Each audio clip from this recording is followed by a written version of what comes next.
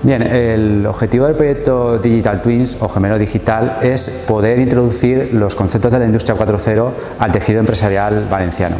En concreto, lo que hace un gemelo digital es, a través de la gran cantidad de información que actualmente existe, ya sea a través de las propias aplicaciones TIC de un proceso de producción o de sensores adicionales, intentar entender cómo funciona dicho proceso.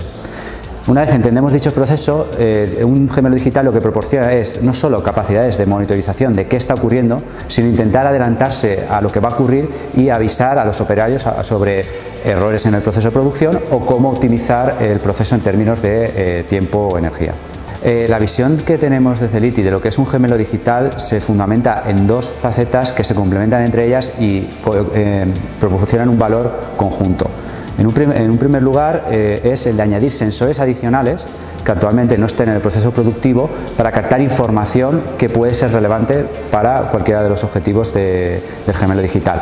Y por otro lado, introducir técnicas analíticas provenientes de la inteligencia artificial para que con esa información adicional podamos obtener un mayor conocimiento de lo que está ocurriendo. Eh, la novedad principal que presenta el proyecto Gemelo Digital es eh, la solución Deploy and Forget. Deploy and Forget es un dispositivo de fácil instalación que cuenta con sensores adicionales que pueden capturar esa información necesaria para la construcción de un gemelo digital. Además, este dispositivo está especialmente diseñado para que sea interoperable con los sistemas actualmente existentes en una planta. Además de esta solución eh, hardware, también eh, proporciona una novedad desde el punto de vista de las técnicas analíticas, puesto que estamos analizando eh, conocimientos que se van más allá del estado del arte.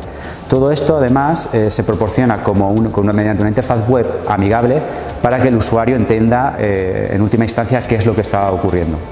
Bueno, potencialmente cualquier empresa que tenga un proceso de producción que esté generando gran cantidad de datos podría beneficiarse, de esta solución.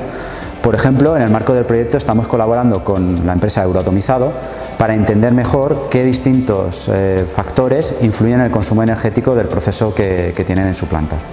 Eh, la forma de implantar el gemelo digital en una empresa eh, requiere, en primer lugar, de analizar la información disponible, los objetivos que esa empresa quiere alcanzar con el gemelo digital y a partir de ahí abordar el proceso de digitalización, es decir, qué elementos no están disponibles actualmente y son necesarios de alguna manera sensorizar o adquirir.